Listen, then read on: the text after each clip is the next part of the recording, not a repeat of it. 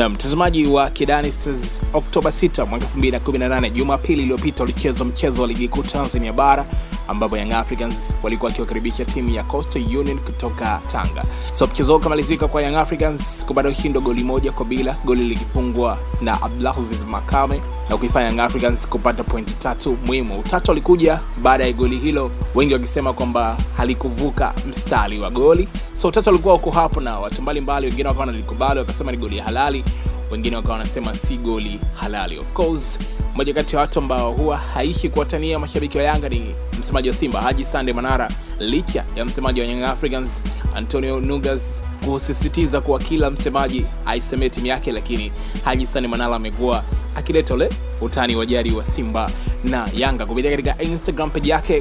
Manara aliposti clip ya goli hilo ambalo lilifungwa na Blazes Makame, alafu kwenye caption akaandika hakika bwana, akammention pale moja ya wachambuzi Oscar Oscar, hii ilikuwa ni unyang'anyi, ni zaidi ya uzarimu, mpira haujavuka mstari ila tushukuru muumba wachezaji wamepata walau posho ya sabuni. Povu pelekeni kwa mrevi oscar. Mimi nimepesti tu aliandika haji Sani manara kupitia katika peji yake ya instagram akisema kuwa halikuwa ni goli lile ambalo lilifungwa na abdulaziz makame kwamba mpira wa kuvuka mstari wa goli. Alisema hivyo haji sande manara na kuambia kuwa angalau amepata posho ya sabuni.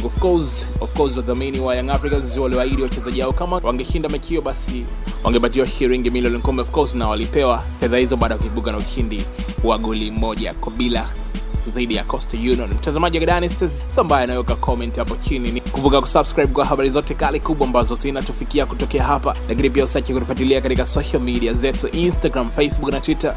Kote huko tunajulikana kama Kidani Stars.